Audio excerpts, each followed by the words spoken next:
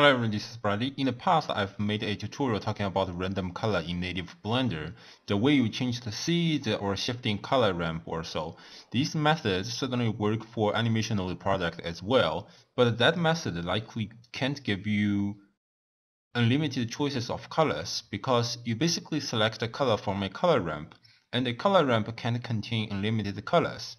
Even if you can change the color using other nodes, these are never unlimited choices. And of course, you have to manually set your color ramp which must not be as random as it's expected. So today, we're going to talk about true random color using animation nodes. If you have watched my advanced Plexus tutorial, then you may find that I have mentioned a preset called random color. And that's the preset that we're going to build. Be aware the preset has to be in your startup file to work.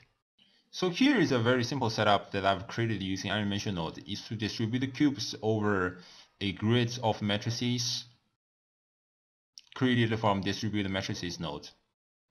And all of these objects are using the same material and all of all these objects having the same vertex color layer.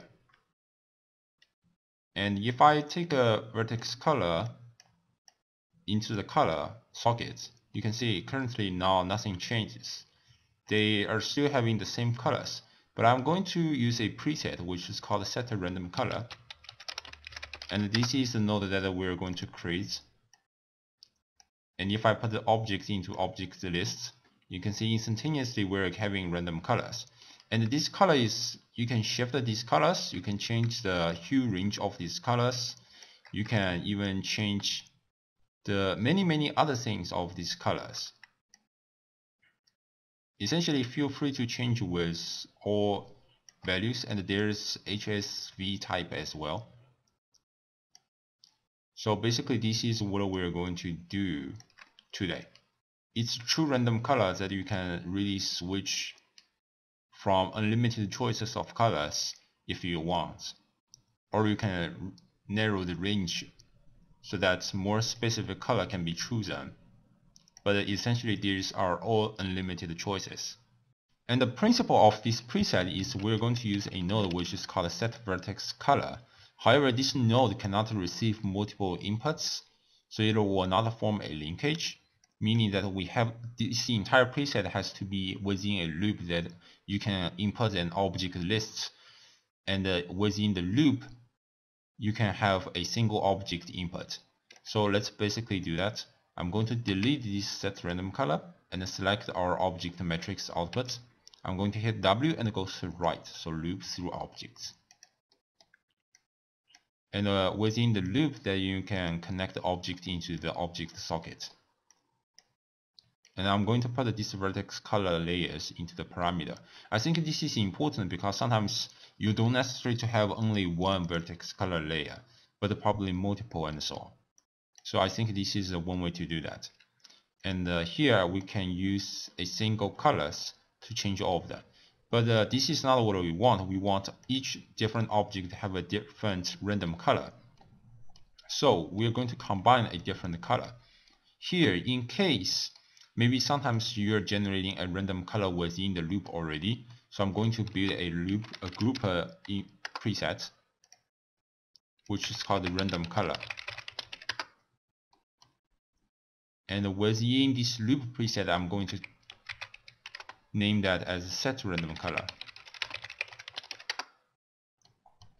So now we have two presets.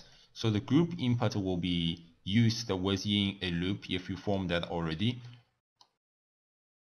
and the loop preset will be used if you don't have a loop and you can directly use that for multiple objects. And this is kind of idea. And within this random color I'm going to take a integer. I'm going to name that as seed. And then I'm going to combine color.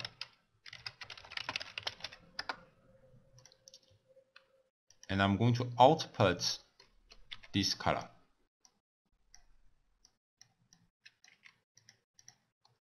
So next stage is to generate a random number for each socket. Oh, by the way, one thing I have to mention is that there are four ways to generate a color. but uh, many times I'm not I don't like the RGB and the YIQ. It's very hard to understand in my opinion. But HSV and HSL is something that I think is very straightforward. So I'm going to focus on these two methods only. And the difference between HSV and HSL is only about the value and the lightness. The exact difference is very hard to tell. You can look for the answer in Wikipedia. But uh, what I can say is the value keeps the hue of objects. But the lightness, when the lightness is 1, then you really just get white, regardless how other values looks like. And this is certainly not the case for values. So just to give you kind of ideas. But uh, we're going to make both of them in case you may prefer HSV or HSL. It, it doesn't not really matter because sometimes I don't even know whether I would like to use HSV or HSL. So we're going to do both of them. It's kind of very simple. So I'm going to take a random number for hue, saturation, and lightness, and uh, so on and so forth. And I'm going to put the seed into seed, number into one number. And I'm going to put the minimum and the maximum into the place. And certainly you can name that like a hue minimum and hue maximum. And I'm going to shift deduplicate this random number. Be aware for each node they have a different node seed. Meaning that even if you have the same seed as I'm doing right now, their output will be completely different because the node seed is different so that you don't need to do extra math to make the seed different in this case. You just need to simply just input everything. Repeat over and over again. Oh, by the way, uh, there's a mistake that I made that I need to put the minimum and the maximum to a different place. And I'm going to name that as saturation minimum, saturation maximum.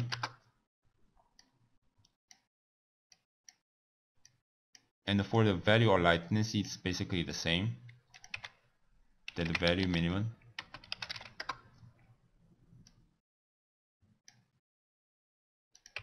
and the value maximum I'm going to put that to saturation and the other two values so now we are using HSV I'm going to simply put alpha into 1 or you can try to keep that 0 but I, I don't know the exact how it will actually affect our color, but basically this is kind of idea at this moment. And to generate, so I'm going to name this as a HSV. But to make it keep it simple, so I'm simply going to duplicate this HSV and make another copy. And basically do the same things but I'm going to output that to another socket and name that HSL. So now we have a preset that generates random colors which is either HSV or HSL.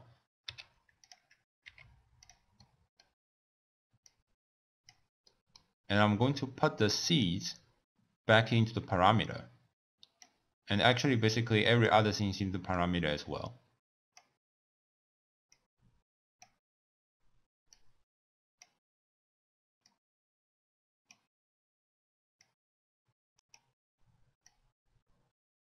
and then we're going to decide whether we're using HSV uh, color or HSL color. So here I think the way is because we're not going to duplicate this and set two vertex color, it will cause complicated issues and so on. So here we are going to in the parameter let's generate a boolean and then let's name that HSV over HSL. So when this boolean is on, it will choose HSV. When the boolean is off, it will choose HSL.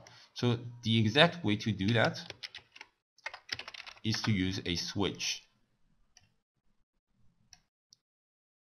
And when the boolean is on, then it should take a HSL, a HSV, and then it took a HSL.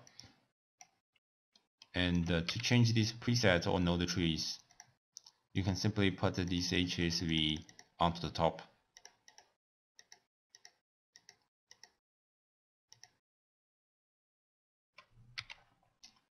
But uh, it does not really matter how you work with this because you probably won't see all these trees if you're using this as a preset.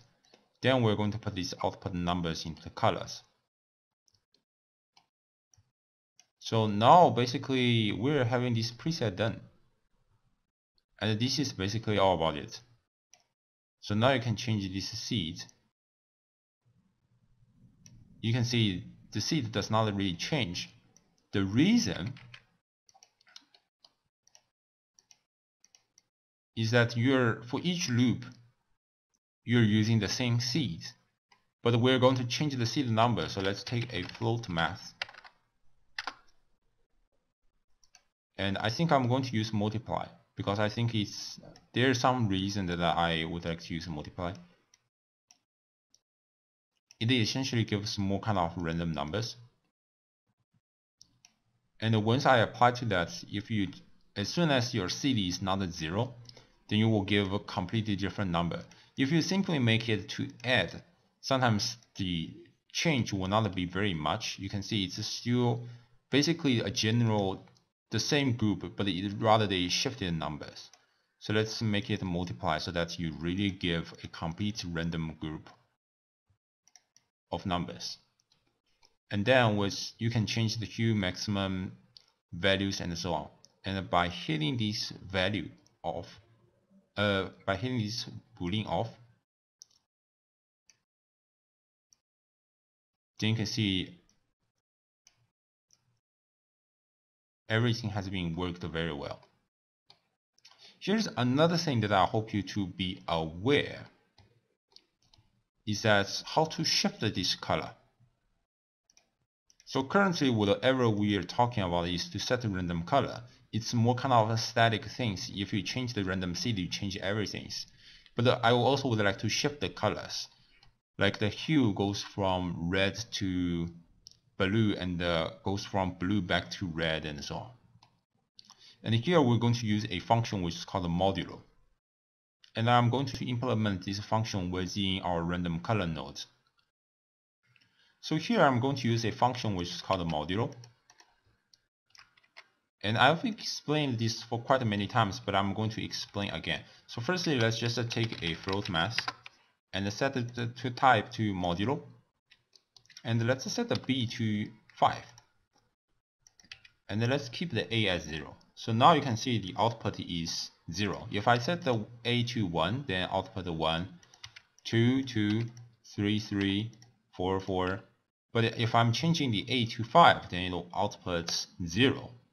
So the whole principle is that idea is that I'm using 5 to divide it by 5. And the actual output is the number which is always smaller than the value b. So this is idea. If I'm putting 1 divided by 5, so 1 is a, and b is 5. So now, because a is already smaller than 5, so if I'm taking fraction, then the a is the output. Okay.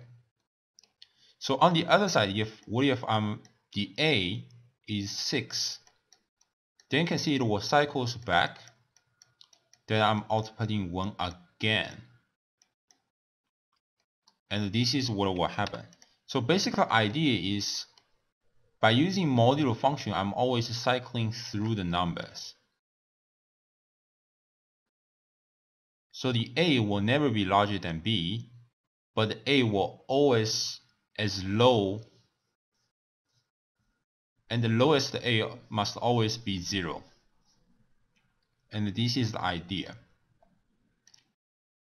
So what we are going to do is simply just to put these random numbers to the place and I'm going to switch the B to 1 because all these hue, saturation and the values will basically be limited to between the range of 0 and 1. But this is still not what we want because now we put numbers limited to 0 and 1 but there's nothing changes. We are not animating these values. So what we're going to do here is I'm going to add another float math, but I'm going to add these numbers. And by adding these numbers, I can shift these colors. And I don't need to worry that this number is actually larger than 1, 2, 3, 4, 5, 6, 7, 8, 9. Because either due to this modular function, it will be cut off for the number which is below 0 and 1. It will also will cycle very well. So here I'm simply just going to put a B into another new input and I'm going to call it color shifter. So within this random color, I have a color shifter and I can put that to new parameter. And with this color shifter, then I can change with this preset as well. And after this part, I think basically everything is done. And you can have these two presets saved on your in your startup files, and you call them names as you want. So you can shift A and set random color. You can call any nodes that you have made a preset of.